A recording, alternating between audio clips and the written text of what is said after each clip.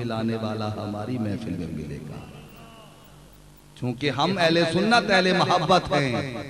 ہم بم بارود والے نہیں ہم دم درود والے ہیں۔ ہم عقیدت اور محبت والے ہیں۔ ہم نفرت والے نہیں ہم احانت والے نہیں ہم نات والے ہیں۔ ہم کرسی والے نہیں ہم آیت الکرسی والے ہیں۔ ہم فساد والے نہیں۔ ہم ملاد والے ہیں۔ حضرات زبکار آئیے آج کی سرو پرور، کیف آور وائد آفری، محفل نور و نکھت اور بزم نور و سرور، محفل پاک، تاجدار لولاد صلی اللہ علیہ وآلہ وسلم میں، یقیناً اشاکان مصطفیٰ کا جم غفیر اور غلامان رسول کا امبوہ کثیر ہے اور اس تاریخ ساز عظیم الشان، فقید المثال۔ باون سال کا عرصہ کم تو نہیں۔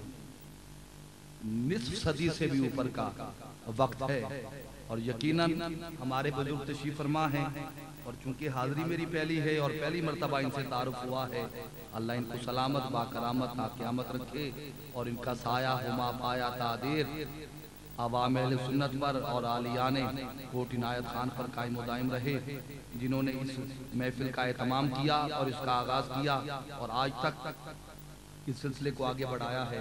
انتظامیہ نے مجھے کوئی ابھی تک نام پیش نہیں کیا، مجھے جس کو صدا دینا ہے، آپ فیصلہ فرما لیں، میں چار مصرے پڑھ لوں تاکہ عقیدت اور محبت سے اس موقع سے فائدہ اٹھا لیتے ہیں۔ اب آپ کی اعلیٰ سماعتوں کے حوالے یہ مصرہ بھی کرنا چاہوں گا۔ کہہ رہا ہوں، شوق بہشت ہے تو وسیلہ تلاش کر۔ بات چونکہ جنت کی ہو رہی تھی تو پھر یہیں سے بات کو آگے بڑھاتے ہیں۔ کہہ رہا ہوں، شوق بہشت ہے تو وسیلہ تلاش کر۔ شوق بہشت ہے تو وسیلہ تلاش کر۔ اور کام آئے گا ضرور وسیلہ حسین کا۔ بیٹھے ہو، ٹر گئے ہو۔ کب سبحان شوق بہشت ہے، تو وسیلہ تلاش کر۔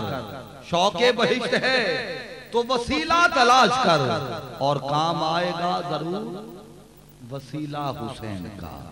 شوق بہشت ہے، تو وسیلہ تلاش کر۔ اور کام آئے گا ضرور وسیلہ حسین کا۔ کوئی بندہ کھڑا ہو کے کہہ سکتا ہے سیدی صاحب، بھرچونڈی شریف سے کوٹ عنایت خان کا سولہ گھنٹے کا سفر کیا ہے۔ کہ آپ سٹھیا تو نہیں گئے؟ دماغ کا علاج کرائیے۔ اتنا بڑا دعویٰ کیا ہے آپ نے، شوق بہشت ہے، تو وسیلہ تلاش کر۔ اور کام آئے گا ضرور، وسیلہ حسین کا۔ جتنا بڑا دعویٰ کیا ہے، کوٹ عنایت خان والوں، اس سے زیادہ وزنی دلیل ہے میرے پاس۔ کہہ رہا ہوں، شوق بہشت ہے، تو وسیلہ تلاش کر اور کام آئے گا ضرور۔ وسیلہ حسین کا، کیسے؟ ارے، نانا کو، ماں کو، باپ کو، بھائی کو دیکھ لے۔ مالک بہشت کا ہے، قبیلہ حسین کا۔ مالک بہشت کا ہے، مالک بہشت کا ہے، مالک بہشت کا ہے، قبیلہ حسین کا۔ مالک بہشت کا ہے، قبیلہ حسین کا۔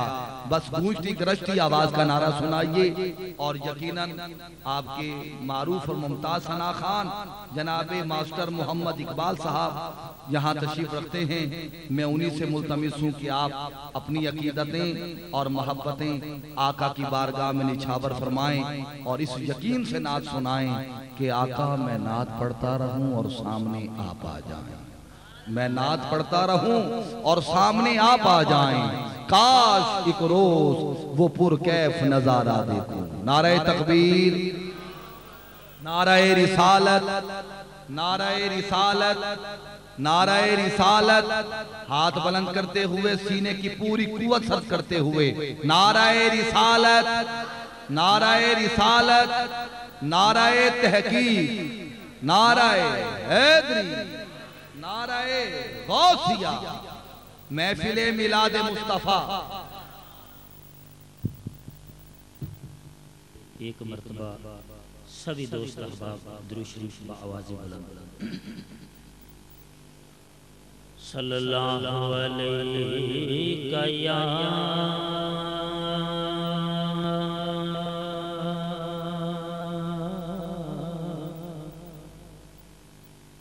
یا رسول اللہ۔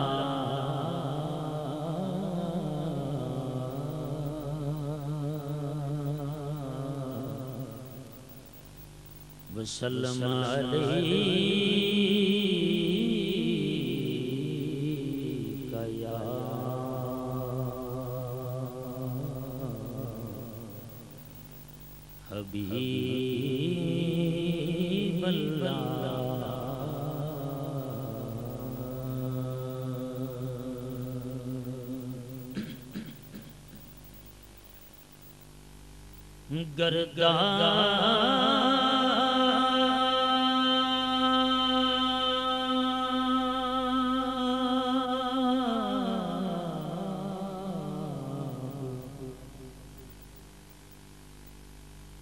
گرداب میں مجھ کو جو سفینہ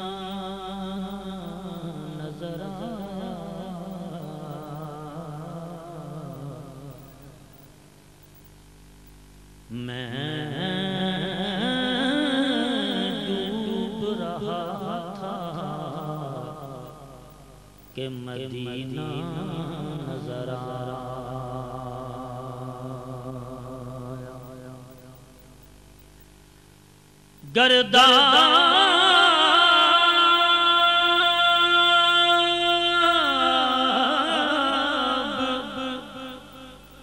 میں مجھ کو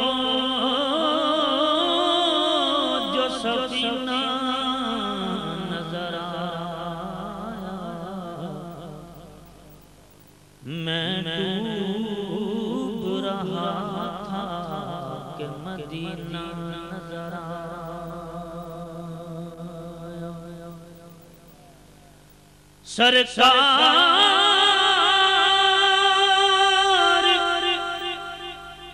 کا جو میں نے لیا نام ظہوری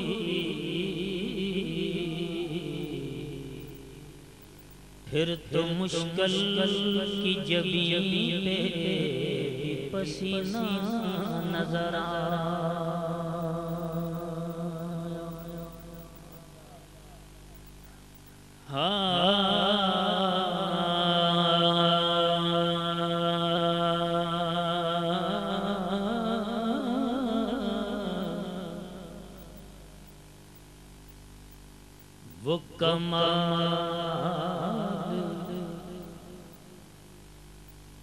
حسن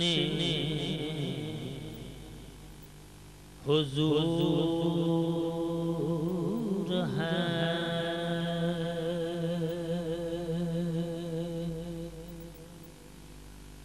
کہ گمان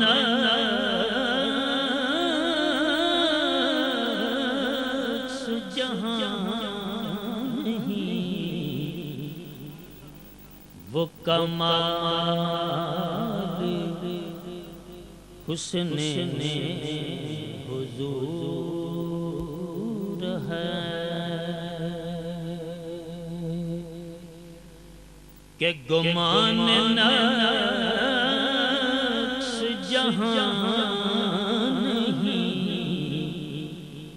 یہی پھول خار سے دور۔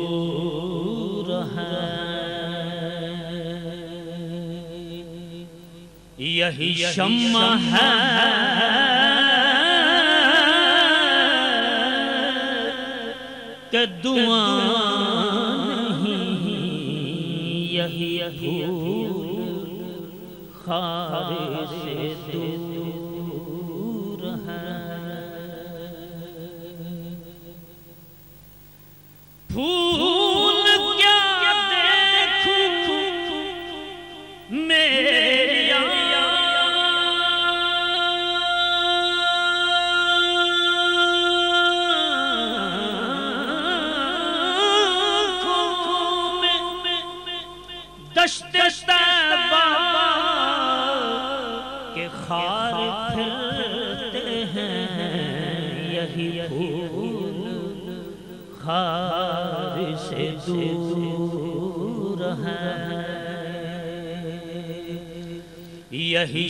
شمع ہے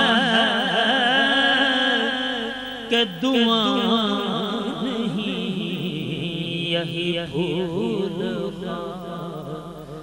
سے دور ہے ہو نہ یہ پھول تو بلبل کا ترنم بھی نہ ہو چمن دہر میں کلیوں کا تبسم بھی نہ ہو ہو نہ یہ ساکی تو پھر میں بھی نہ ہو۔ بھی نہ ہو۔ بز میں توحید کی دنیا بھی نہ ہو۔ تم بھی نہ ہو۔ خیر۔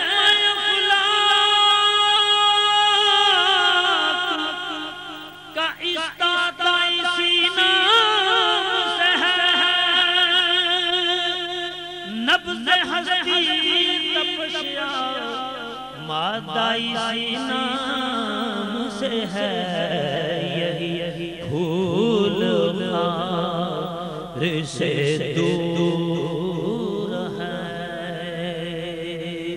یہی شمع ہے کہ دعائیں یہی پھول خار سے دور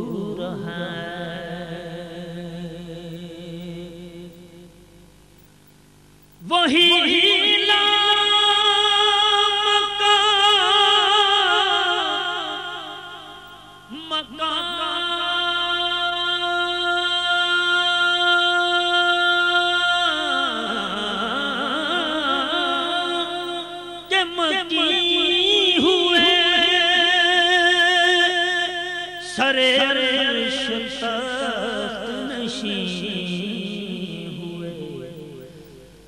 نبی ہیں جن کے ہیں یہ مکان۔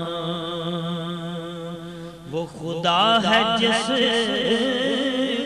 کا مکان یہ نبی ہیں جس کے ہیں یہ مکان۔ وہ خدا ہے جس کا مکان یہی پھول خار سے دور ہے۔ کروں کروں تیرے نام پہ جا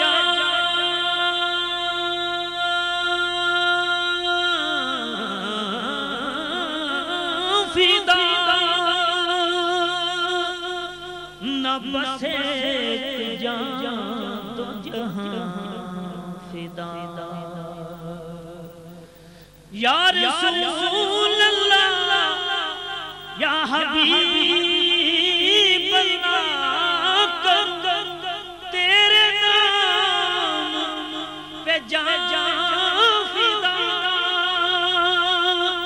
نہ بسے جان دو جہاں فدا۔ دو جہاں سے بھی نہیں جی برا۔ کروں کیا کرو؟ دو جہاں یہی پھول پھول ایویں نہ مہک دین ہلے۔ پھول ایویں نہ مہک دین ہلے۔ اے نہ لیا پسینہ حضور۔ دا ملے فلکانو تانے چن تارے۔ اے میراج لئی زینہ حضور دا تے ولی تاں پہ تاج، ولایت ملیا فیض خزینہ حضور دا ترتی سجدی تاں سردار سائیاں۔ مدینہ حضور دا یہی پھول خار سے دور ہے سرے عرش پر ہے تیری گزر۔ دل فرش پر ہے تیری نظر۔ ملک تو ملک میں کوئی نہیں آقا وہ جو تجھ پہ آیا نہیں، یہی پھول خار سے دور ہے۔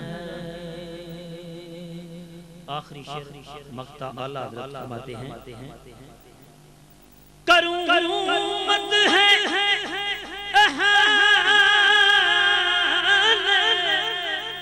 دول۔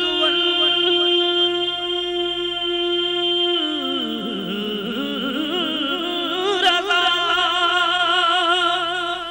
پڑے بلا ام میری بلا کروں مت ہے۔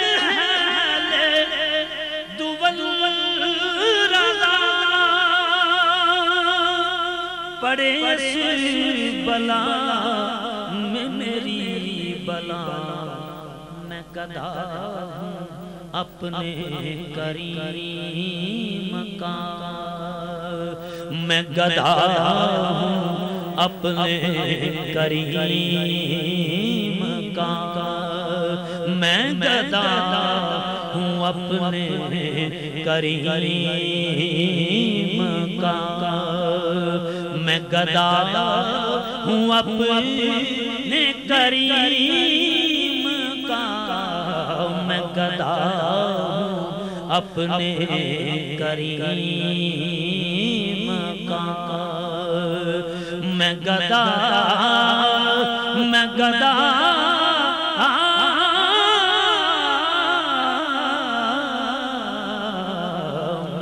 میں گدا اپنے کریم کا کروں مت ہے لے دول رضا پڑے بلا میں میری بلا۔ میں گدا ہوں اپنے کریم کا میرا دین پا رہے نہیں یہی پھول خار سے دور ہے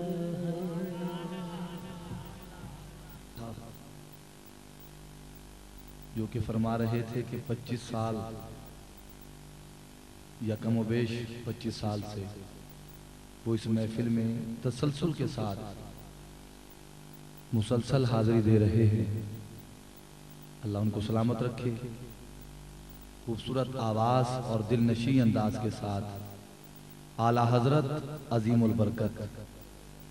مجدد دین و ملت۔ تاجدار اہل سنت۔ پروانہ شم عشق رسالت۔ چودویں صدی کے امام۔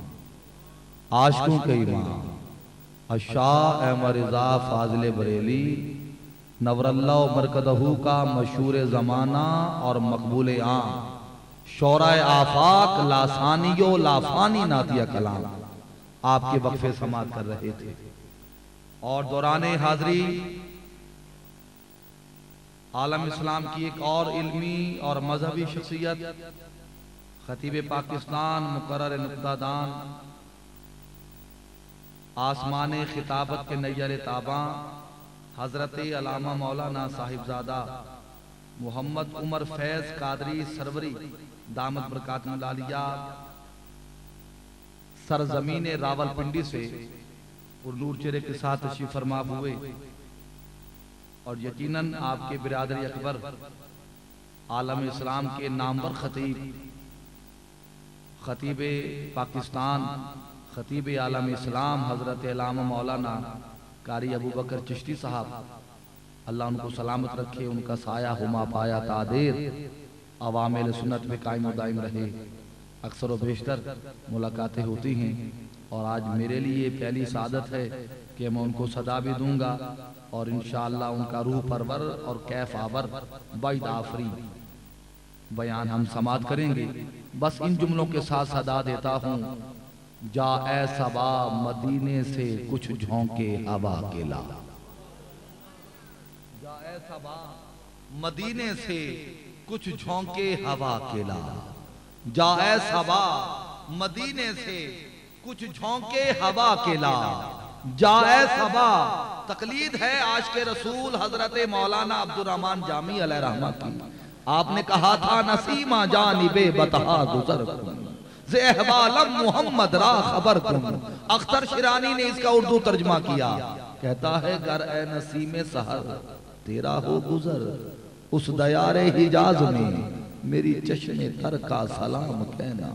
حضور بندہ نواز میں پنجابی کا شاعر کا کلم بھی بجد میں آیا۔ عبدالستار نیازی کو کہنا پڑا آنکھی سونے نو وائے نہیں جے تیرا گزر ہو گئے ہونتے تیری کہہ رہے ہیں کہہ دے سبحان اللہ۔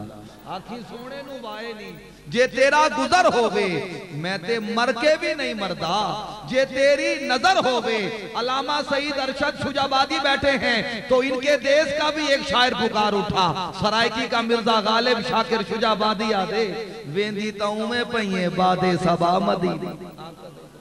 ویندی تاؤں میں پہیے بادے سبا مدینے۔ ویندی تاؤں میں پہیے بادے سبا مدینے۔ دکھیاں دا حال چاہی من دیوی سنا مدینے۔ ویندی تاؤں میں پہیے بادے سبا مدینے۔ دکھیاں دا حال چاہی من دیوی سنا مدینے۔ دکھیاں دا حال چاہی من خالد بھائی آپ کی ڈھیر ساری توجہ۔ آپ کی مرے تھے جن کے لیے وہ رہے وضو کرتے۔ ہاں بس ایسا نہ ہو جائے۔ ویندی تاؤں میں پہیے یقیناً میں ان کی پسند کا نقیب نہیں ہوں۔ ہاں مجھے آپ نے منتخب کیا ہے۔ ہر نقیب ہر بندے کے لیے نہیں ہوتا اور ہر بندہ ہر نقیب کو نہیں سن سکتا۔ بس آپ جتنی مہربانی کرنا، اتنا ضرور کہہ دینا، سبحان اللہ۔ جس غریب کو سمجھ نہ آئے، مجھے داد کی توقع نہیں ہے۔ جو سمجھ کے نہ بولا، یقیناً اس کا اظہار کوٹ عنایت خواہ میں تو نہ کروں گا۔ ملتان تک دکھی ضرور رہوں گا۔ میرا جملہ ضائع ہو گیا۔ کہہ رہا ہوں، مہندی تاؤں میں پہیے بادے سبا مدینے۔ مہندی تاؤں میں پہیے بادے سبا مدینے۔ دکھیاں دہال چاہی من دیوی سنا مدینے۔ اور جب میری باری آئی تو میں کیوں نہ کہوں؟ جائے سبا مدینے سے کچھ جھونکے ہوا کے لا جائے سبا مدینے سے کچھ جھونکے ہوا کے لا۔ سر سے کانوں سے نہیں سننا، دل کے کانوں کو سماعت کیجیے گا۔ کہہ رہا ہوں، جائے سما جائے سبا مدینے سے کچھ جھونکے ہوا کے لا۔ جائے سبا مدینے سے کچھ جھونکے ہوا کے لا۔ جائے سبا مدینے سے کچھ جھونکے ہوا کے لا۔ نہ مصرہ بھول جاتا ہوں، نہ میں تھک جاتا ہوں۔ بس توجہ کیجیے گا تو ہاتھ اٹھائیے گا۔ حالات حاضرہ آپ کے سامنے ہیں۔ جو بندہ اخبار پڑھ لیتا ہے، خبرنامہ سن لیتا ہے، جس کو یہ پتا ہے کہ خوراک کی قلت ہے، پانی کی بندش ہے، بجلی کا بوران ہے، آٹا ملتا نہیں، گیس کی لائنیں لگی ہیں، تو پھر کیوں نہ کہوں، جائے سبا مدینے سے۔ مدینے کے لیے سبا کو پیغامبر بنایا۔ اب اگلا جملہ سنو۔ رکھو دھڑکتے ہوئے دل پہ ہاتھ۔ دل بولے تو کہو سبحان اللہ۔ جائے سبا مدینے سے کچھ جھونکے ہوا کے لا شاید حضور ہم سے خفا ہے منا کے لا جائے سبا مدینے سے کچھ جھونکے ہوا کے لا شاید حضور ہم سے خفا ہے منا کے لا کچھ ہم بھی اپنا چہرہ باطن سنوار لیں۔ کچھ ہم بھی اپنا چہرہ باطن سنوار لیں۔ اچھا یہ عجب اتفاق نہیں۔ میرے لیے حسن اتفاق ہے کہ علماء کرام تشریف فرما ہیں اور میں تو ان سے واللہ باللہ لفظوں کی بھیک اور جملوں کی خیرات لے کے جانا چاہتا ہوں۔ آپ بھی سفر کیجیے گا تو انشاءاللہ کچھ حد اٹھائیے گا۔ کہہ رہا ہوں، کچھ ہم بھی اپنا چہرہ باطن سنوار لیں۔ بو بکر سے کچھ آئی نے عشق و وفا کے لا۔ بو بکر سے کچھ آئی نے عشق و وفا کے لا۔ بو بکر سے جو آپ کی فرمائش ہے وہ یہاں پوری کرتا ہوں۔ کہہ رہا ہوں شان صدیق اکبر پہ قربان میں۔ کہیے سبحان اللہ۔ ہاں ذرا محبت سے کہیے، سبحان اللہ۔ یہ اہل سنت کا سٹیج ہے، یہاں سے عقیدہ بیان ہونا چاہیے۔ ہماری محفل کا مقصد یہ نہیں ہوتا، آئے بیٹھے، اٹھے گئے۔ یقیناً ذکر پنجتن پاک ہو، بہت اچھی بات ہے۔ ہمارے ایمان کی نشانی ہے، لیکن اصحاب رسول کا ذکر بھی ہونا چاہیے۔ کہہ رہا ہوں، میں کسی پہ تنقید نہیں کر رہا۔ بارش کا پہلا قطرہ میں بن گیا ہوں۔ کہہ رہا ہوں، شان صدیق اکبر پہ قربان میں۔ رازدار رسالت کی کیا بات؟ شان صدیق اکبر پہ قربان میں قادر صاحب آپ سے دعا چاہیے۔ شان صدیق اکبر پہ قربان میں رازدار رسالت کی کوٹ عنایت خان جڑے نہیں بولے تو آڈی بھی کیا بات؟ کہہ دو سبحان اللہ۔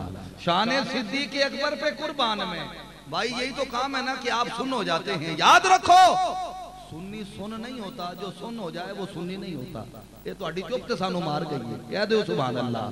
شان صدیق اکبر پہ قربان میں۔ رازدار رسالت کی کیا بات ہے؟ کون صدیق؟ جس کو صدیق ہے مصطفیٰ نے کہا۔ اس سراپا صداقت کی کیا بات ہے؟ اس سراپا صداقت کی کیا بات ہے؟ اس سراپا صداقت کی کیا بات ہے؟ سنو، سر اٹھاؤ، آنکھوں میں آنکھیں ڈالو تو جملہ ہدیہ کروں۔ کہہ رہا ہوں، کملی والے کی جس کو رفاقت ملی۔ سب سے حابہ کی جس کو امامت ملی۔ سب سے پہلے ہے جس کو خلافت ملی۔ اس کے تخت خلافت کی کیا بات ہے؟ اس کے تخت خلافت کی کیا بات ہے؟ اس کے تخت خلافت کی کیا بات ہے؟ اس کے تخت خلافت کی کیا بات ہے؟ اس کے تخت خلافت کی کیا بات ہے؟ غار ہے جا کے جنت کی گلزار ہے۔ غار ہے؟ دامن وقت میں گنجائش ہوتی، وقت کی تنابیں کھچنا گئی ہوتی، تو غار سور کا پورا واقعہ پڑھ دیتا۔ لیکن آؤ میرے ساتھ سفر کرو، جو تاریخ پڑھنے والے ہیں، یقیناً تاریخ گھر بیٹھ کے نہیں لکھی جاتی معرک کا قلم لکھتا ہے، غار ہے، جا کے جنت کی گلزار ہے۔ ایک طرف یار ہے ایک طرف مار ہے۔ شجابادی صاحب، یہاں مار سے مراد مارنا تو نہیں ہے قبلہ ہزاروی صاحب، یہاں مار سے مراد تو اس صاحب کے ہیں جو ہزاروں سال سے دیدار مصطفیٰ کے لیے تڑپ اور سے سک رہا تھا۔ تو کہہ رہا ہوں، شان صدیق اکبر پہ قربان میں، رازدار رسالت کی کیا بات ہے؟ جس کو صدیق ہے، مصطفیٰ نے کہا۔ اس سراپا صداقت کی کیا بات ہے؟ کملی والے کی جس کو رفاقت ملی، سب سے حابہ کی جس کو امامت ملی، سب سے پہلے ہے جس کو خلافت ملی، اس کے تخت خلافت کی کیا بات ہے؟ غار ہے۔ جا کے جنت کی گلزار ہے، ایک طرف جار ہے، ایک طرف مار ہے۔ زہر پاؤں میں سانوں پہ دلدار ہے۔ تیری صدیق قسمت کی کیا بات ہے؟ قسمت کی کیا بات ہے؟ تیری صدیق قسمت کی کیا بات ہے؟ تیری صدیق قسمت کی کیا بات ہے؟ لوٹ ڈنکے کی چوٹ پہ ایک اور مصرہ کہہ کے جا رہا ہوں۔ جہاں سمجھ آئے یہاں کہنا سبحان اللہ۔ کل کسی سے مشورہ کر کے کہہ دینا۔ اور میں نے عقیدہ ہمیشہ ببانگ دوہل پڑا ہے ڈنکے کی چوٹ پہ پڑا ہے۔ غزالی زمان کا غلام ہوں مرد میدان ہوں۔ میدان میں گرشتا ہوں میدان میں فیصلے کرتا ہوں۔ نہ گھونگٹ میں آٹا پھانکا ہے، نہ پھانکنے دیا ہے۔ بغیر برکے کے آیا ہوں، بغیر برکے کے جانا ہے۔ یہ جملہ دل پہ لکھنا کہہ رہا ہوں، جنہیں صدیق کی صداقت کا اعتراف نہیں، وہ ہزار سجدے کریں، ایک گناہ معاف نہیں۔ دل میں بغض صدیق اور بدن پہ حج کا احرام، تیرے نصیب کا چکر ہے یہ طواف نہیں تیرے نصیب کا چکر ہے یہ طواف نہیں کچھ بھی اپنا چہرہ ہے۔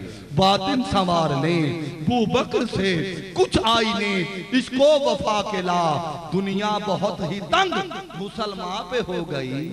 فاروق کے زمانے کے نقشے اٹھا کے لا۔ فاروق کے زمانے کے نقشے اٹھا کے لا۔ اور محروم کر دیا ہمیں حسن نگاہ نے۔ یہ کیبل میڈیا کا دور ہے۔ یہ ڈش اینٹینا کا دور ہے، یہ وائرلس کا دور ہے، یہ فلیکس ٹیلیکس کا دور ہے، یہ سیٹیلائٹ کا دور ہے، یہ ٹیکنالوجی کا دور ہے، یہ ایٹم بم کا دور ہے، یہ موبائل کا دور ہے، اس جدید دور میں بیٹھ کے کہہ رہا ہوں، محروم کر دیا، ہمیں حسن نگاہ نے عثمان سے کچھ زاویے شرم و حیا کے لا، عثمان سے کچھ زاویے شرم و حیا کے لا، اور مغرب میں مارا مارا نہ پھر، اے گدائے علم اور یہاں فرمان اس رسول کا پڑھتا ہوں، جو وہی بولتا ہے، جو وہی بولتی ہے۔ کہہ دو سبحان اللہ۔ مشکل ہو گیا تھوڑا مصرہ کہہ رہا ہوں، فرمان اس رسول کا ہے، جو وہی بولتا ہے، جو وہی بولتی ہے۔ آقا نے کہا، انا مدینہ تو للم والی بابوہا۔ میں علم کا شہر ہوں اور علی اس کا دروازہ ہے۔ تو مغرب میں مارا مارا نہ پھر۔ اے گدائے علم جا دروازہ علی سے خیرات جا کے لا۔ جا دروازہ علی سے خیرات جا کے لا۔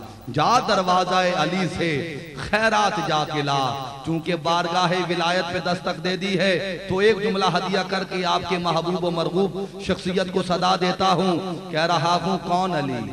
داماد رسول، زوج بطول، حسنین کے بابا۔ اللہ جانے کب مقدر یاوری کرے، وقت داوری کرے میری حاضری ہو۔ یہ چار مصرے پڑھ کے جا رہا ہوں۔ ڈھیر ساری دعا دیجیے گا۔ کہہ رہا ہوں، داماد رسول، زوج بطول، حسنین کے بابا، سجدے میں تیرا سر کو جھکانا بھی علی۔ حضور لفظ علی کا استعمال سننا اس مصرے میں۔ داماد رسول، زوج بطول، حسنین کے بابا۔ سجدے میں تیرا۔ سر کو جھکانا بھی علی ہے۔ داماد رسول، زوج بطول، حسنین کے بابا، سجدے میں تیرا۔ سر کو جھکانا بھی علی ہے۔ انجمن رضائے مصطفیٰ کے لوگوں تھوڑی دیر کے لیے توجہ کرو۔ خالد بھائی، یہ بندے آج سبحان اللہ نہیں کہہ رہے۔ مجھے اس کا دکھ، رنج، غم افسوس نہیں ہے۔ یہ کل آپ سے ویڈیو مانگتے پھریں گے اور گھر بیٹھ کے کہیں گے سبحان اللہ۔ میں بات اتنی بڑی کر جاؤں گا۔ کہہ رہا ہوں داماد رسول زوج بطول حسنین کے بابا میں وہ نقیب نہیں ہوں جو صرف جوش جوش۔ ارے جوش میں ہوش ہوتا ہے اس سٹیج پہ عقیدہ ہوتا ہے۔ میرے ساتھ سفر تو کرو ابھی تو ابتدا ہے۔ بس عقیدت اور محبت سے سر اٹھا لو آنکھوں میں آنکھیں ڈالو تو جملہ ہدیہ کروں۔ کہہ رہا ہوں داماد رسول زوج بطول حسنین کے بابا سجدے میں تیرا سر کو جھکانا بھی علی ہے۔ کیا کوٹ عنایت خان والے بتائیں گے علی پیدا کہاں ہوئے؟ شہادت کہاں نصیب ہوئی؟ مسجد تو پھر کعبہ بھی اللہ کا گھر مسجد بھی اللہ کا گھر ولادت ہے کعبہ میں۔ شہادت ہے مسجد میں۔ کعبہ بھی خانہ خدا۔ مسجد بھی خانہ خدا۔ جھگڑا کس بات کا ہے؟ داماد رسول، زوج بطول، حسنین کے بابا۔ سجدے میں تیرا۔ سر کو جھکانا بھی علی ہے، کعبہ میں ولادت ہے، تو مسجد میں شہادت۔ آنا بھی علی ہے تو تیرا جانا بھی علی ہے۔ آنا بھی علی ہے تو تیرا جانا بھی علی ہے۔ آنا بھی علی ہے تو تیرا جانا بھی علی ہے۔ بہت کچھ ہے سینے کے اندر۔ آپ پیچھے رہ جاؤ گے، میں آگے نکل جاؤں گا۔ اور ویسے بھی مائک سے بیلٹ ہونے کی مجھے کوئی عادت نہیں۔ میں وہ نقیب نہیں جسے مہینوں بعد موقع ملے۔ ہر کالی رات نبی کے ذکر سے روشن ہو جاتی ہے۔ اب جب خطیب آ جائیں تو میری کیا بھی ساتھ ہو۔ اور پھر خطیب بھی وہ کہ جنہیں زمانہ رک رک کے وقت ٹھہر ٹھہر کے سماعت کرے۔ اور یقیناً عقیدت اور محبت سے سرشار آواز اور پروکار چہرے سے مزین میرے نہایت مشفق اور مہربان میری مراد خطیب پاکستان مقرر نقطہ دان زبدت الخطبہ شمس العلماء، حضرت علامہ مولانا صاحبزادہ محمد عمر فیض قادری، سروری صاحب دامت برکات ملالیہ، خطیب اعظم، راول پنڈی سے ملتمس ہوں کہ آپ تشریف لائیں، اپنی عقیدتیں اور محبتیں آقا کریم کی بارگاہ میں پیش کریں، ہم سب کے قلوب و حضان کو روشن کریں، ہمارے دلوں کے یسرف کو مدینہ بنائیں۔ ایک گونجتی گرجتی آواز کا نعرہ سنائیں۔ نعرہ تکبیر سارے بولو بو بکر مزاج ہوتے ہوئے، عمر فاروق تینت ہوتے ہوئے، عثمان غنی سے خیرات لیتے ہوئے، مولا علی سے جرت لیتے ہوئے، حسینی جذبہ رکھتے ہوئے، اعلیٰ حضرت کی تقلید کرتے ہوئے، غزالی زماں کا رنگ اپناتے ہوئے، حضور داتا گنج بخش سے بھیک لیتے ہوئے، آسمان تک پہنچنے والا نعرہ نعرہ تکبیر، نعرہ رسالت نعرہ رسالت نعرہ رسالت نعرہ رسالت نعرہ رسالت نعرہ رسالت، نعرہ تحقیق، نعرہ حیدری، نعرہ غوثیہ۔ تاجدار بلاغت چلے آئیے۔ چلے آئیے۔ لے کے باغ مدینہ کے گل کی مہک نو بہار خطابت چلے آئیے۔ زينن نبينا بحبيبه المصطفى. ومن على المؤمنين بنبيه المجتبى. الصلاة والسلام على سيدنا ومولانا محمد خير الورى. وعلى آله وأصحابه المتأدبين بالتقوى. أما بعد، فأعوذ بالله السميع العليم من الشيطان اللئين الرجيم. بسم الله الرحمن الرحيم. فاذكروا آلاء الله لعلكم تفلحون. صدق الله مولانا العظيم. إن الله وملائكته يصلون على النبي. يا أيها الذين آمنوا صلوا عليه وسلموا تسليما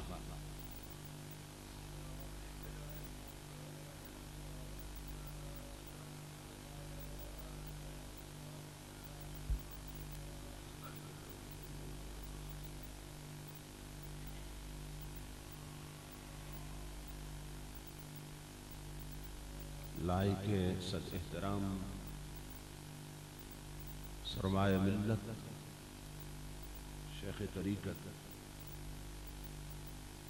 حضرت قبلہ صاحبزادہ پیر سید امجد حسین شاہ صاحب، دامت برکات و ملالیہ۔ جگر گوشہ شیخ القرآن، سرمایہ ملت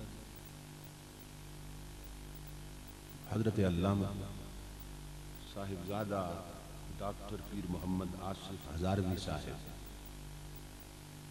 دامت برکات و ملقدسیہ محترم المقام، حضرت علامہ حکیم حافظ نذیر حسین نقشبندی صاحب زید مجدہ محترم المقام جناب حافظ خالد فاروق صاحب۔ محترم المقام جناب مظہر حسین تنجوہ صاحب اور دیگر معزز مشائق علماء کرام اور محترم حاضرین و سامعین۔ اللہ رب العزت کا لاکھ لاکھ شکر ہے کہ جس نے اپنی توفیق خاص سے آپ کو اور مجھے آج کی اس دی وقار مجلس میں حاضری کا شرف عطا کیا۔ اور بارگاہ رسالت معاب صلی اللہ تعالی علیہ وسلم میں۔ گلہائے عقیدت پیش کرنے کی سعادت عطا فرمائی۔ اس عظیم الشان پروگرام کے نقاد پر میں آپ تمام حضرات کی خدمت میں۔ دل کی اچھا گہرائیوں سے ہدیہ تبریک و تحسین پیش کرتا ہوں۔ اور دعا کرتا ہوں کہ اللہ پاک ہم سب کی حاضری کو اپنی بارگاہ میں اور اپنے محبوب صلی اللہ تعالی علیہ وسلم کی بارگاہ میں قبول و منظور فرمائے۔ میں اپنے برادر عزیز، جناب قاری رضوان احمد صاحب کے لیے دعا گو ہوں کہ جن کے توسل سے میں آج کی اس پاکیزہ مجلس تک پہنچا ہوں۔ میرا چونکہ یہاں پہلا خطاب ہے، آپ میرے مزاج سے آشنا نہیں ہیں۔ اور میں آپ کے مزاج سے آشنا نہیں ہوں۔ اس لیے زیادہ توجہ کی ضرورت ہے تاکہ آپ مجھے سمجھ سکیں اور میں آپ کو سمجھ سکیں یہ ہماری خوش بختی ہے کہ اللہ پاک نے نبی اکرم صلی اللہ تعالی علیہ وسلم کے ذکر پاک کی مجلس میں حاضری کا شرف عطا کیا۔ اور باب بصیرت کا کہنا ہے، اولیاء اللہ فرماتے ہیں کہ یہ بات اللہ پاک کی غیرت کے منافی ہے۔ اس کے محبوب کے ذکر کے لیے لوگ جمع ہوں اور پھر بخشے نہ جائیں۔ یہ ہو نہیں سکتا۔ یہ بات اللہ پاک کی غیرت کے منافی ہے کہ اس کے محبوب کے ذکر کے لیے لوگ جمع ہوں اور پھر بخشے نہ جائیں ایک بار کرم ضرور ہوتا ہے۔ لیکن آپ جانتے ہیں کہ کوئی عہدہ پانا اتنا مشکل نہیں جتنا اسے بچانا مشکل ہوتا ہے۔ بہت سے لوگ ہیں جو ایسی مجالس میں آتے ہیں، آنے سے پہلے بدبخت ہوتے ہیں، جانے سے پہلے خوشبخت بن جاتا ہے آتے ہیں تو شقی ہوتے ہیں، جاتے ہیں تو سعید بن جاتا ہے۔ لیکن اس سعادت کو پھر کوئی کوئی بچا کے رکھتا ہے۔ اس عہدے اور اس منصب کو بچانا بہت مشکل ہے۔ اور ہم میں سے اکثر اس کو نہیں بچا پاتا اور اس کا سبب یہ ہے کہ ہم نے ان چیزوں کو اہمیت دے رکھی ہے جنہیں کرنے کو من چاہتا ہے۔ انہیں چھوڑ رکھا ہے جنہیں کرنے کو رب چاہتا ہے۔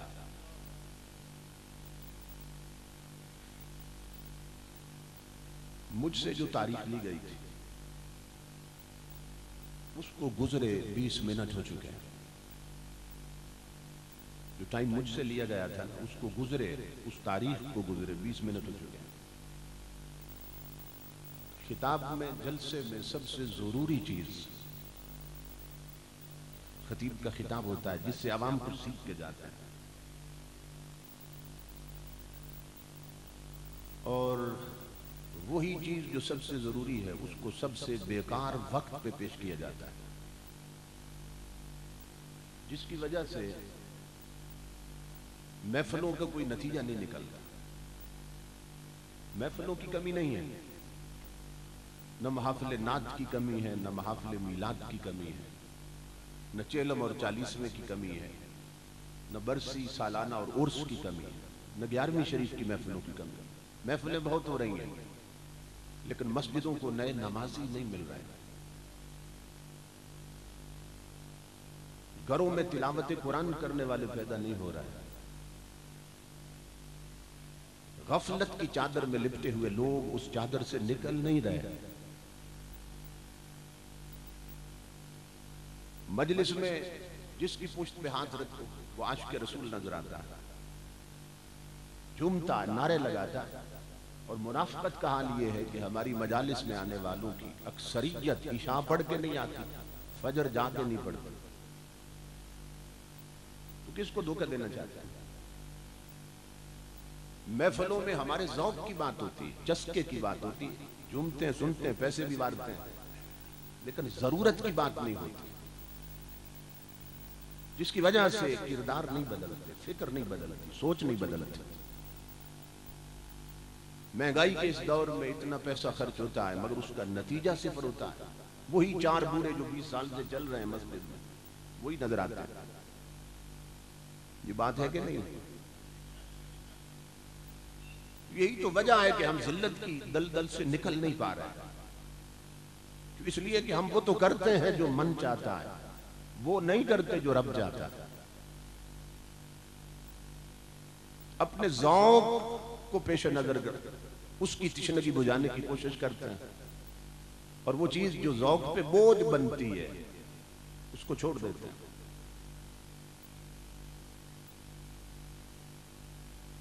اس لیے میں نے بنیادی طور پر آپ کو سمجھا دیا کہ میرا خطاب کیسا ہوگا۔ چسکے والی باتیں وہ نہ میں کرنے کا آتی ہوں اور نہ ضرورت، کیونکہ ضرورت ہے قرآن و سنت کی طرف لانے کی۔ جو حضور کا اوریجنل پیغام ہے، حضور کا جو اوریجنل میسج ہے، اس کی طرف لانے کی۔ اگر آپ جائیں اور فجر کی نماز نہ پڑھیں، تو یہاں سب جھومنا منافقت ہو جائے گا۔ کیونکہ یہاں آپ آئے نا، یہ جو ساری رات بیٹھے، یہ رب اور رسول کا حکم نہیں تھا۔ فجر کی نماز پڑھنا رب اور رسول کا حکم تھا۔ آپ نے وہ تو کر لیا جس کو من چاہتا تھا، اسے فجر کے وقت چھوڑ دیا جسے رب چاہتا تھا۔ تو قوموں کی تقدیر من چاہے پر چلنے سے نہیں بدلتی، رب چاہے پہ چلنے سے بدلتی ہے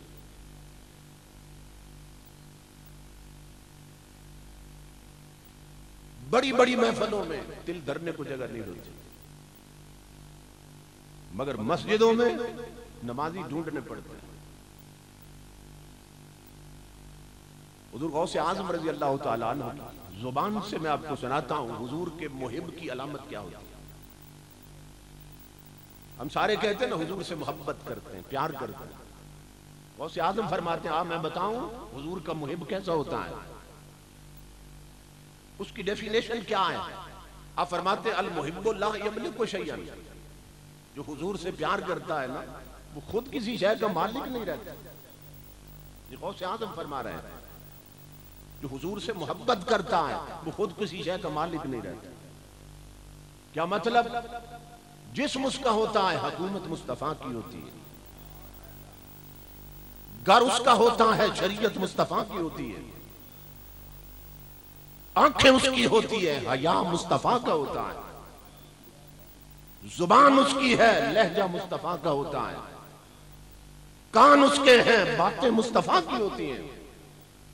دل اس کا ہے، جلوہ مصطفیٰ کا ہوتا ہے۔ اور آنکھیں اس کی ہیں، دیدار مصطفیٰ کا ہوتا ہے۔ یسلم الکل الى محبوب ہی آپ فرماتے ہیں، جو پیار کرنے والا اپنی ہر شے اپنے محبوب کے ہاتھ میں دے دیتا۔ امام الانبیاء کے غلاموں ہم کیسے محب ہیں؟ میں کہا کرتا ہوں، اگر حضور کے عاشق تکنا چاہتے ہو، اس کے لیے بھی تکڑی ہے تو لو حضور کے محبت کرنے والے کون ہیں؟ اگر امام الانبیاء کے سچے محب تکنا چاہتے ہو، تو پھر محفلوں میں نہ دیکھو، پانچ وقت کی فرد نمازوں میں دیکھو۔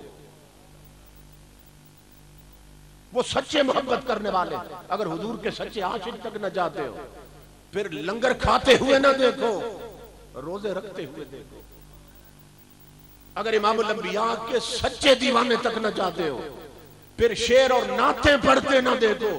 فجر کے وقت اٹھ کے مصطفیٰ کا قرآن پڑھتے دیکھو۔ قرآن کتنے پڑھ رہے ہیں؟ کیونکہ ہم چوری کھانے والے خون دینے والے نہیں رہے۔ تو غوث اعظم فرماتے ہیں کہ جو محبت کرتا ہے وہ اپنی ہر شے محبوب کے ہاتھ میں دے دیتا اور ہمارے تو ستاون، چھپن اسلامی ملک ہیں اور چھپن دیشوں میں بھی اسلام پردیسی ہو گیا۔ کوئی اسے سینے لگانے کے لیے تیار نہیں۔ نعرے اتنے لمبے کہ تقریر تھوڑی اور نعرے لمبے۔ اور غلامی رسول میں موت بھی قبول ہے۔ اس طرح کے دعوے اور نعرے۔ امام الانبیاء کے غلاموں، موت کا مرحلہ تو معلوم نہیں آئے گا کب آئے گا۔ آئے گا یا نہیں آئے گا؟ کیونکہ ہجڑے حکمران ہوں تو جہاد کے میدان گرم نہیں ہوتے۔ وہ تو پتہ نہیں آئے گا کہ نہیں آئے گا۔ اگر سچی محبت ہے حضور کے ساتھ، تو پھر پہلے اس نعرے پہ عمل کر کہ ہاں مدینے کے تاجدار۔ غلامی رسول میں مجھے پانچ وقت کی نماز بھی قبول ہے۔ غلامی رسول میں مجھے روزانہ کی تلاوت قرآن بھی قبول ہے۔ اور غلامی رسول میں بڑے بازار سے آنکھیں جھکا کے گزر جانا بھی قبول ہے۔ جو کام کرنے والے ہیں، اس طرف نہیں آتا ایک فقیر سے کسی نے کہا کہ عام مسلمان میں اور ولی میں فرق کیا ہوتا ہے؟ ہم جیسے عام مسلمان اور اللہ کے ولی میں فرق کیا ہوتا ہے؟ وہاں سے پڑھا، اس نے کہا بڑا آسان ہے، فرق سمجھنا۔ نے کہا فقیر صاحب سمجھائیں، اس نے کہا عام مسلمان وہ ہیں جو رب کو مانتے ہیں مگر رب کی نہیں مانتے۔ اور ہم سارے اسی طرح کے ہیں۔ یہاں کوئی ہے جو رب کو نہ مانتا؟ کوئی ہے جو رسول کو نہ مانتا؟ فقیر نے کہا عام مسلمان وہ ہیں جو رب کو مانتے ہیں، رب کی نہیں مانتے۔ عام مسلمان وہ ہیں جو رسول کو مانتے ہیں، رسول کی نہیں مانتے۔ اگر ہم نے ہم نے رب کو مانتے ہیں نا، لیکن اگر رب کی مانی ہوتی، ہماری بیٹیاں ننگے سر بازار میں نظر نہ آتی۔ اگر ہم نے رب اور رسول کی مانی ہوتی، تو ہمارے گھر میں انڈیا کی فلمیں نہ چل رہی ہوتی۔ اگر ہم نے رب اور رسول کی مانی ہوتی، تو ہمارے جوانوں کی جیب میں تاش کے پتے نہ ہوتے، سورہ یاسین رکھی ہوتی۔ اگر ہم نے رب اور رسول کی مانی ہوتی، ہماری بیٹیوں کے ہاتھ میں اخبار جہان نہ ہوتی، سیرت فاطمہ زہرا کی کتابیں ہوتی۔ ہم سارے رب اور رسول کو مانتے ہیں، مگر رب اور رسول کی نہیں مانتے۔ تو یہ ہم ایسے مسلمان ہیں۔ اور فقیر نے کہا، رب کا ولی وہ ہوتا ہے جو زندگی بھر رب اور رسول کو بھی مانتا ہے اور رب اور رسول کی بھی مانتا رہتا ہے. ولی وہ ہے جو زندگی بھر رب اور رسول کو بھی مانتا ہے اور رب اور رسول کی بھی منتا رہتا ہے۔ ہر شخص کو اپنے گریبان میں جھانکنا چاہیے۔ یہ جلسے اس لیے اسلام میں شروع کیے گئے۔ اس انداز سے گفتگو ہو کہ جن کا عقیدہ خراب ہے، عقیدے کی اصلاح ہو جائے۔ اور جن کا عمل خراب ہے، عمل کی اصلاح ہو جائے۔ مگر ہم اپنے ذوق پال رہے ہیں۔ قوم ذہنی تعیش کی طرف چلی گئی۔ اور اہل سنت ہر جگہ زوال پذیر ہیں۔ کیوں؟ اور میں ہر جگہ پہ یہ کہہ رہا ہوں، سنیو تمہاری تقدیر اس دن بدلے گی۔ جس دن تم میاں محمد کے کلام سے بڑھ کر حضرت محمد کا کلام سمجھ جاؤ گے۔ علماء اور اہل علم کا کوئی مسلب نہیں رہا۔ پہلے بد مذہب لوگ تھے گستاخان صحابہ، ان کے سٹیجز پر جہالت راد کرتی تھی۔ آج ہمارے سٹیجز پہ جہالت راد کر رہی ہے۔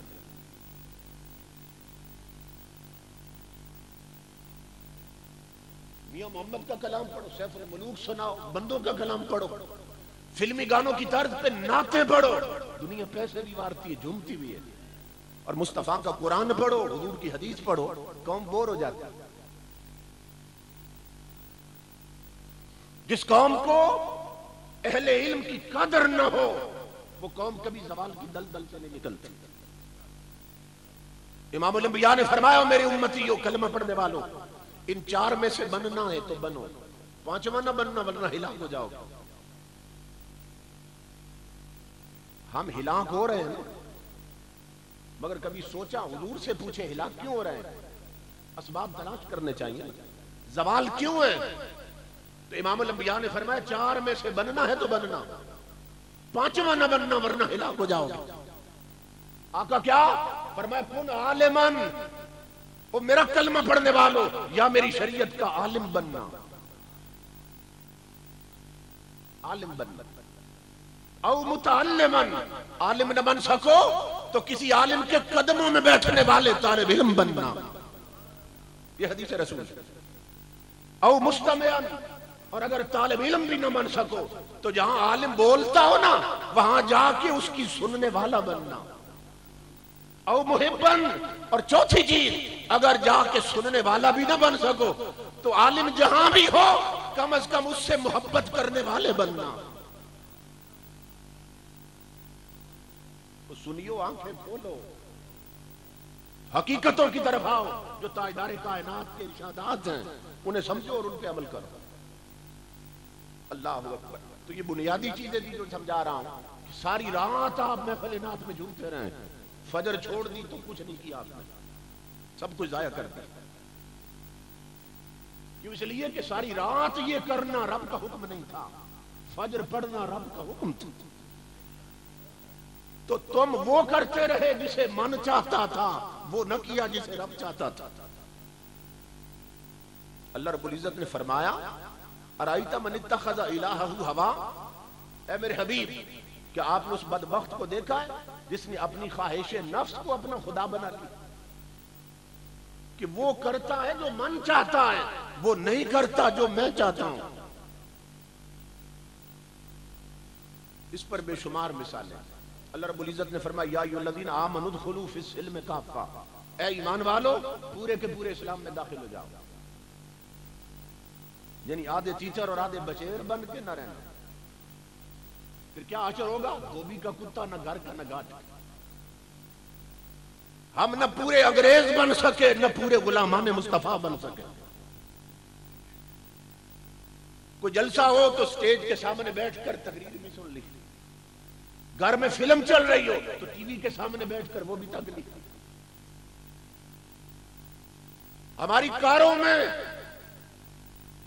کاروں میں نعت خانوں کی سیڈیاں بھی پڑی ہیں اور انڈیا کے فلمی گانے بھی پڑے ہیں۔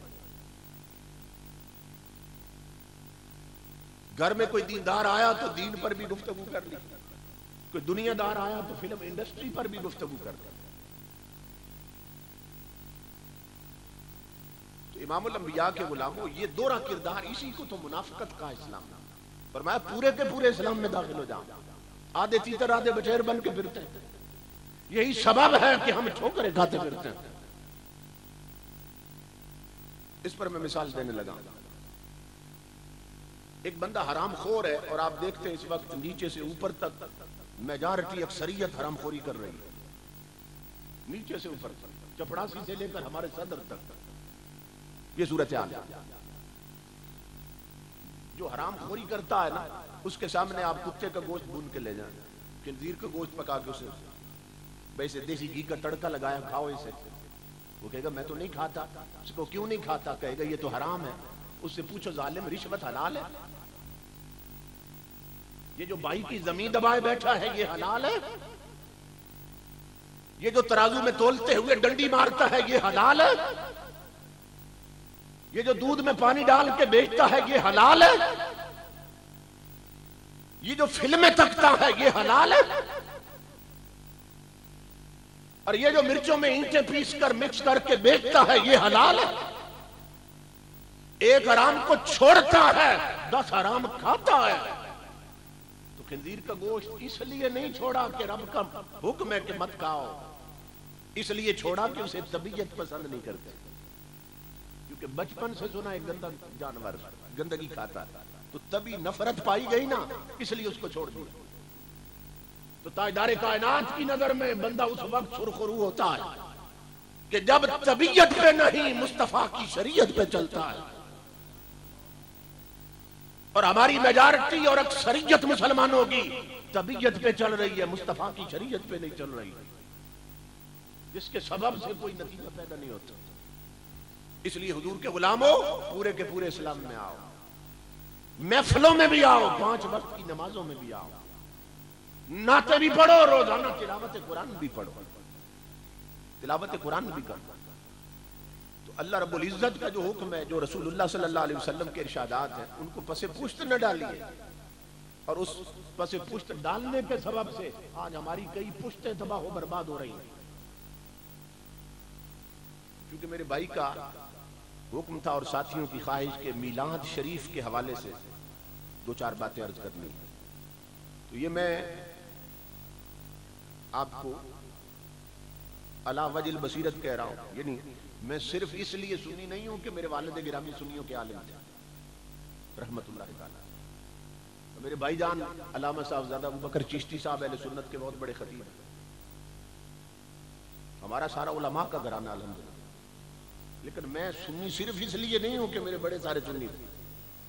میں سنی اس لیے ہوں کہ میں نے ہر مسلک کو پڑھا پنجاب یونیورسٹی سے میں نے ایم اے کیا۔ اسلامی مدرسوں کے ٹکڑے کھائے۔ ہر مسلک کو پڑھا، ہر مذہب کو پڑھا۔ رب کی عزت کی قسم، سنیو، تمہیں مبارک دے رہا ہوں۔ پندرہویں صدی فتنوں کا دور ہے۔ تم آج بھی اسی راستے پر چل رہے ہو، جس راستے پر مصطفیٰ کا بلال چلتا تھا۔ ہمارا وہ مسلک وہ مسلک، وہ عقیدہ جو ہمارے اکابرین نے کتابوں میں لکھا، اس کی بات کر رہا ہوں۔ جو سیلف میڈ ہے، جو جاہلوں نے بنا دیا، اس کی بات نہیں کر رہا۔ ہمارا مسلک کوئی یتیم مسلک نہیں ہے۔ اس کی پشت پر چودہ صدیوں کے ولی کڑے ہوئے ہیں۔ باقی جتنے باطل نظریات ہیں، باطل فرقے، ان میں تمہیں ولی خان تو ملیں گے، ولی اللہ کوئی نہیں ملے گا۔ یہ اہل سنت ہیں، جن میں میر علی شاہ بھی ہیں، غریب نواز بھی ہیں، بہت سے جیلانی بھی ہیں۔ سارے ولی اہل سنت میں ہیں، کیونکہ عقیدہ ان کا صحیح ہے۔ اور عقیدہ صحیح نہ ہو تو ولایت کبھی نصیب نہیں ہوتی اس لیے اپنے بختوں پہ ناز کریں۔ امام الانبیاء نے فرمایا، میرے امتیوں، اپنے نصیبوں پہ سجدہ شکر ادا کیا کرو۔ آقا کیوں؟ فرمایا ان حضکم من الانبیاء و انتم حضی من الامم۔ سرکار نے فرمایا، فرماؤ میرا کلمہ پڑھنے والوں وقتوں پہ ناز کرو۔ آقا کس بات پر؟ فرمایا، تم میرے حصے میں آئے ہو، میں تمہارے حصے میں آیا ہوں۔ ہم کتنے خوش وقت ہیں کہ حضور کے حصے میں آئے اللہ بات بڑھ جائے گی۔ میں عرض کر رہا ہوں کہ ہمیں پھر اس نسبت کا حیاء بھی تو ہونا چاہیے۔ عقیدہ ہمارا صحیح ہے، مسجدیں کوئی اور برے یعنی رب نے عقیدہ صحیحہ ہمیں عطا کیا ہے اور مسجدیں اوروں کی بھری ہو سجدوں کے لیے۔ اور مدرسے اوروں کے بھرے ہوں، بچے تلاوت قرآن کر رہے ہوں، شریعت سیکھ رہے ہوں، تو ہمارے لیے بڑی شرم کی بات۔ کیونکہ ہم دعویٰ جو کرتے ہیں حضور صلی اللہ علیہ وسلم کے حبدار ہیں، حضور کے معدب ہیں۔ معدب ہونے میں کوئی شک نہیں ہے۔ لیکن حضور کی اتباع میں کمی، اطاعت میں کمی۔ تو یہ جو میلاد شریف ہے، بہت سے مسائل ہیں جن پر، چونکہ فتنوں کا دور ہے مس مسا اندازی کی جاتی ہے۔ موٹی سی باتیں کرنے لگا ہوں دو چار تاکہ سب کو سمجھ آئیں اور پلے باندھ کے لے جائیں۔ ہم جتنے بھی اعمال سر انجام دیتے ہیں جن کے بارے میں ہمارا یہ تصور ہے کہ کریں گے، قبول ہوا تو اللہ ثواب عطا کرے گا۔ اس پر برکت نصیب ہوگی۔ جتنے بھی اعمال ہیں، قبولیت کے اعتبار سے ان کی دو قسمیں ہیں۔ کچھ عمل ایسے ہیں کہ جو زنی القبول کے درجہ پر ہیں، اور ہمارے کچھ عمل ایسے ہیں جو قطعی القبول کے درجہ پر ہیں۔ کچھ عمل ایسے ہیں کہ جو کرتے ہیں۔ مگر گمان رہتا، ہو سکتا ہے قبول ہو جائے۔ ہو سکتا ہے رد ہو جائے۔ کچھ عمل ایسے ہیں، یقین نہیں ہوتا قبول ہونے۔ گمان رہتا، ہو سکتا ہے قبول ہو جائے، ہو سکتا ہے رد ہو جائے۔ ان عملوں کو کہتے ہیں زنی القبول اعمال۔ اور کچھ عمل ایسے ہیں جو قطعی القبول ہوتے ہیں، جو کبھی رد نہیں ہوتے۔ وہ ہمیشہ مقبول ہوتے ہیں۔